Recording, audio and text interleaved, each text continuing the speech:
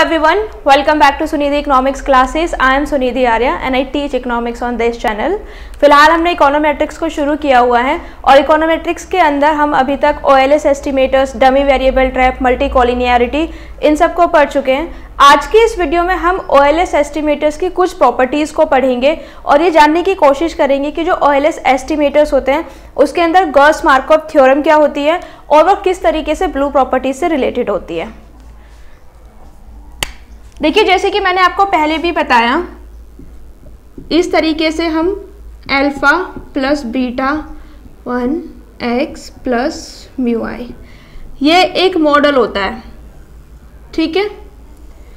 This is a model econometrics का एक ये मॉडल होता है। इसमें हमें जो बीटा वन है और जो अल्फ़ा है, ये पैरामीटर्स होते हैं। ये पैरामीटर्स जो होते हैं, हम इनको एस्टिमेट करते हैं। जब भी मैंने आपको इकोनोमेट्रिक्स का मॉडल बताया होगा तो उसमें एक हेड लगा हुआ होता है।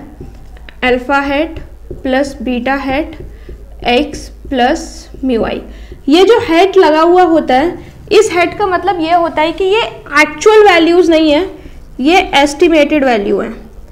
अब एक्चुअल और एस्टिमेटेड वैल्यू का क्या कॉन्सेप्ट होता है? जब भी हम किसी भी तरीके की रिसर्च को करते हैं तो फिर हमारे पास में पूरा पॉपुलेशन होता है। पॉपुलेशन से मतलब वो सारी यूनिट जो हमें एक स्टडी में इंक्लूड करनी है everything we want to include in the study इस पॉपुलेशन हम पॉपुलेशन से क्या करते हैं? पॉपुलेशन को पूरी की पूरी को स्टडी करना बहुत मुश्किल होता है, बहुत डिफ़िकल्ट होता है, बहुत ज़्यादा टाइम कंज्यूमिंग होता है, बहुत ज़्यादा मनी लगता है उसमें। तो हम क्या करते हैं? पॉपुलेशन से सैंपल निकालते हैं सैम्पलिंग मेथड के थ्रू और जो भी हम सैंपल को निकालते हैं फिर हम उस सैंपल को स्टडी करते हैं। एक्चुअल वैल्यू कौन सी वैल्यू होती है? अगर हम पॉपुलेशन पे स्टडी करें।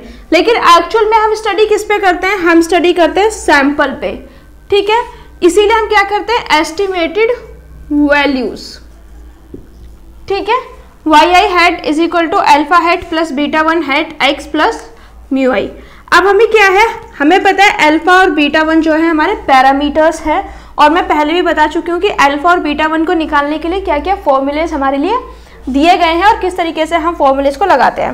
अब हमें ये कहा गया है कि अगर एस एस्टिमेट्स हैं, यानी कि ओ एल एस के थ्रू अगर हम अल्फ़ा और बीटा की वैल्यू निकालें तो वह ब्लू होते हैं। बी एल यू ई इसका क्या मतलब होता है? इसको गोल्स मार्केट जो इकोनोमेट्रिक्स इसको गोल्स मार्केट जो इकोनॉमिस्ट थे उन्होंने अपने थ्योरम के थ्रू एक्सप्लेन करने की कोशिश की थी कि जो ऑयल एस एस्टिमेटर्स होते हैं, वो ब्लू होते हैं।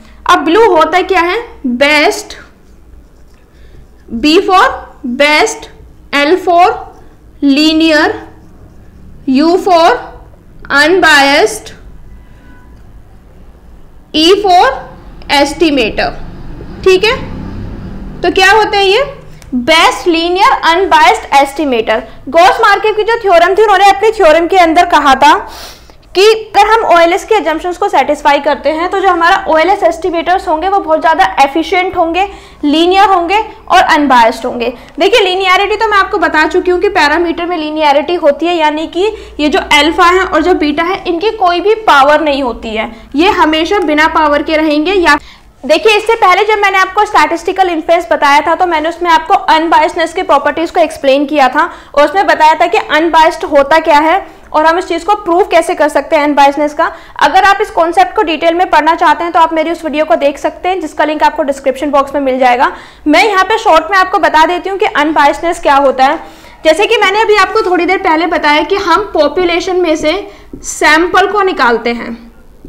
तो जो हमारा सैंपल का एक डिस्ट्रीब्यूशन निकल के आता है, अगर सैंपलिंग का जो, अगर सैंपलिंग डिस्ट्रीब्यूशन का मीन जो है, वो पॉपुलेशन मीन के इक्वल आ जाता है तो हम उसको क्या बोलते हैं? Unbiasedness E X bar is equal to mu ठीक है?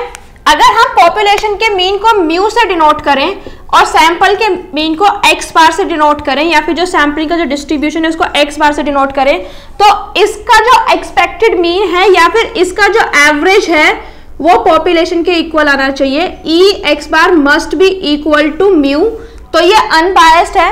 अगर ये म्यू के इक्वल नहीं है तो ये क्या होगा? ये बायस्डनेस आएगी।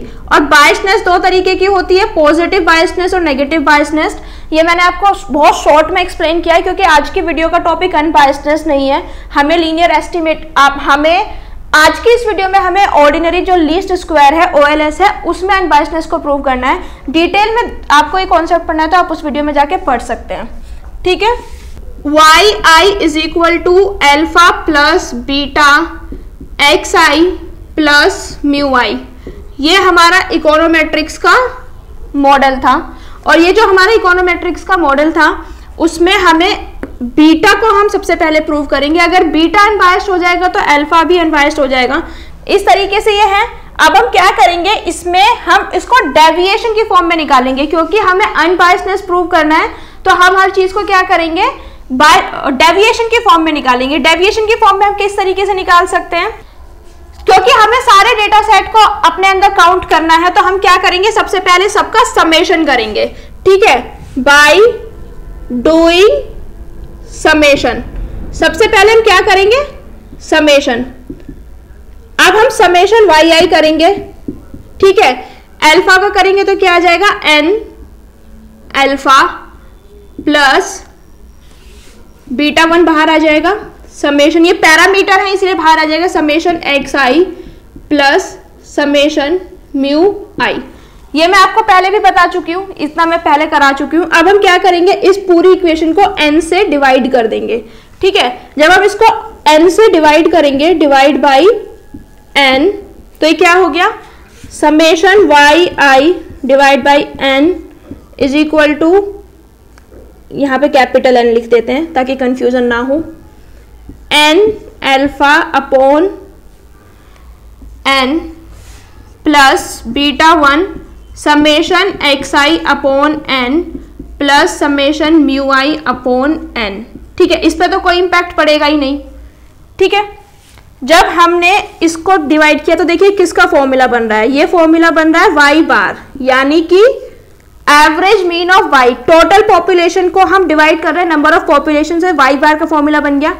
एन से एन कैंसिल हो गया तो यह गया एल्फा प्लस बीटा वन जिस तरीके से ये वाई बार का फॉर्मूला बन रहा है या फिर एवरेज मीन ऑफ़ वाई का फॉर्मूला बन रहा है, ये हमारा एवरेज मीन ऑफ़ एक्स का फॉर्मूला बन रहा है. तो हम यहाँ पे क्या लिख देंगे? बी वन एक्स बार और ये क्या हो जाएगा हमारा? ये वाली जो टर्म है, ये हमारी ज़ीरो हो जाएगी. और ये ज़ीरो क्यों होगी? क्योंकि जब हमने अजम्पन्स मानी थी ओ की तो हमने उसमें एज्यूम किया था कि जो सम होगा एरर टर्म का वो हमेशा क्या होगा? ज़ीरो होगा। तो इसे कंसिडर करने की ज़रूरत नहीं है। अब हमारे पास दो इक्वेशन बन के आई हैं। पहली इक्वेशन ये है और दूसरी इक्वेशन हमारे पास ये है। अब हम क्या करेंगे? फ़र्स्ट इक्वेशन में से सेकंड इक्वेशन को सब्ट्रैक्ट करेंगे। ठीक है? जो कि मैं यहाँ पे करती हूँ। Subtracting subtracting equation one from two ठीक है? Y I minus Y bar is equal to देखिए यहाँ पे भी अल्फ़ा है और यहाँ पर भी अल्फ़ा है। अल्फ़ा से अल्फ़ा क्या हो जाएगा? कट जाएगा। Beta one X I bar minus X bar plus mu bar का as it is mu I क्या होगा? ये एज इट इज़ रहेगा। देखिए ये क्या है? ये डेविएशन है ना? मैंने बताया था कि हम सारी इक्वेशन को डेविएशन के फॉर्म में कन्वर्ट करेंगे। ये क्या है? जितने भी नंबर हमने लिए हैं, उन सारे नंबर्स में से उनको एवरेज मीन में से हटाएँगे। ये क्या है? मेन डेविएशन मेन डेविएशन क्या होता है? हमारे पास वाई की जितनी भी वैल्यूज़ होती हैं, हम उनका अर्थमेटिक मीन निकालते हैं और फिर हर एक वैल्यू को डेविएट करते हैं। तो अब हम इसको क्या कर सकते हैं? कैपिटल से डिनोट कर सकते हैं। वाई अब हम क्या कर सकते हैं? इसको स्मॉल वाई से डिनोट कर सकते हैं, क्योंकि ये डेविएशन है। स्मॉल वाई क्या है? Deviation Y I is equal to beta one X I plus mu I ठीक है? अगर इस इक्वेशन को हम डेविएशन के फॉर्म में लिखना चाहें तो हम उसको इस तरीके से भी लिख सकते हैं beta one X I plus mu I I hope आपको इतना क्लियर हो गया होगा। इस इस इक्वेशन को जब हम अनबायसनेस प्रूव करेंगे तो यूज़ करेंगे, इसीलिए मैंने इसकी डेरिवेशन कराई है। वैसे मैं इसकी डेरिवेशन पहले कॉफिशेंट ऑफ़ डिटर्मिनेशन में भी करा चुकी हूँ, लेकिन मैंने इसको करा दिया है ताकि आपको अच्छे से समझ में आ जाए कि ये वैल्यू कहाँ से निकल कर आई है। जनरली बुक्स में बताने जनरली बुक्स जो होती है, उनमें गिवन नहीं होता है कि किस तरीके से ये वैल्यू आई है, इसीलिए मैंने इसका डेरिवेशन कराया है। अब हम फटाफट से क्विकली जंप करेंगे कि अनबायसनेस को प्रूव कैसे किया जाए। I is equal to alpha plus beta one X I plus mu I ये हमारी ओ एल एस एस्टिमेटर्स की दी गई इक्वेशन थी, जिसके अंदर दो पैरामीटर है अल्फ़ा प्लस बीटा वन इसको हमने डेविएशन फॉर्म में निकाला। तो जो हमारा बीटा का फॉर्मूला होता था बीटा वन का हमारा क्या फॉर्मूला होता था? Summation X Y minus N summation X X Y अगर हम उसको डेविएशन के फॉर्म में लिखना चाहें तो इस तरीके से लिख सकते हैं X I Y I upon summation X I square इसका एक मैंने अलग वीडियो बनाया हुआ है। वायरस एस्टिमेटर को कैसे ड्राइव करते हैं, उसका एक अलग सेपरेट वीडियो बना हुआ है। आप जाके चैनल पे देख सकते हैं। तो ये हमारा बीटा वन की वैल्यू निकल के आ गई है। अब हम क्या करेंगे? Beta one is equal to summation X I Y I की क्या वैल्यू है? Beta one X I plus mu I upon summation X I square. कुछ नहीं किया है हमने, केवल यहाँ पे वाई आई की इस वैल्यू को सब्सटीट्यूट कर दिया है। अब हम क्या करेंगे, ये जो एक टर्म है, इसके अंदर मल्टीप्लाई कर देंगे। देखिए, जब हम इसकी मल्टीप्लाई करेंगे तो बीटा वन पैरामीटर है। बीटा वन तो बाहर आ जाएगा। अंदर क्या बचेगा? समेशन एक्स आई का स्क्वायर दो है plus summation mu I X I upon summation X I का स्क्वायर। इतने में तो किसी को कोई डाउट नहीं होगा। सिंपल अंदर मल्टीप्लाई किया है। उसके बाद में beta one is equal to हम अलग अलग लिख लेंगे। हम अलग अलग लिख लेंगे। अलग अलग किस तरीके से लिखेंगे? Beta one summation X I square upon summation X I का स्क्वायर। ये जो है डिनोमिनेटर में, ये इसके नीचे भी है और इसके नीचे भी है। इसमें तो कोई कंफ्यूजन नहीं होना चाहिए। Plus summation mu I X I upon summation X I का स्क्वायर इतना आपको समझ में आ गया होगा? अब देखिए एक्स आई स्क्वायर से एक्स आई स्क्वायर कट जाएगा। इतने में कोई कंफ्यूजन नहीं होना चाहिए। जब हमने जब हमने एक्स आई स्क्वायर से एक्स आई स्क्वायर को काट दिया है तो हमारे क्या निकल के आया है? Beta one is equal to beta one plus ये जो बीटा वन है, ये एस्टीमेट है ना? मैंने आपको बताया था कि हम एस्टीमेट को लेके चलेंगे। तो बीटा वन क्या है? एस्टीमेट प्लस यहाँ पे क्या है? समेशन ऑफ़ यू आई ये टर्म क्या हो जाएगी हमारी? ये टर्म हो जाएगी ज़ीरो ज़ीरो क्यों होगी? क्योंकि इसमें एरर टर्म का समेशन है और मैंने आपको बताया कि जहाँ कहीं भी एरर टर्म का समेशन होगा, वहाँ पे ज़ीरो हो जाएगा। तो इस टर्म को तो हम कंसिडर ही नहीं करेंगे। तो हमारा क्या बचा? Beta one hat is equal to beta one अब हम इसका एक्सपेक्टेशन करेंगे तो beta one hat is equal to beta one ठीक है? एक्सपेक्टेड वैल्यू क्या आएगी? बीटा वन देखिए, जो सैंपल था, ये सैंपल में से था ना एस्टिमेटेड वैल्यू मैंने बताया था एस्टिमेटेड वैल्यू सैंपल से निकालते हैं। और ये क्या है? बीटा वन ये पॉपुलेशन का। सैंपल मीन अगर पॉपुलेशन मीन के इक्वल हो जाता है तो इसका मतलब क्या है कि वो पैरामीटर अनबाइस्ड है। क्योंकि इसमें सैंपल और पॉपुलेशन के मीन इक्वल हो गए हैं तो ये हमारा अनबायस्ड प्रूव हो जाता है। इससे नेक्स्ट वाली वीडियो में हम पढ़ेंगे कि ये मिनिमम वेरिएंस कैसे है, यानी कि सबसे ज़्यादा एफिशिएंट एस्टिमेटर कैसे है।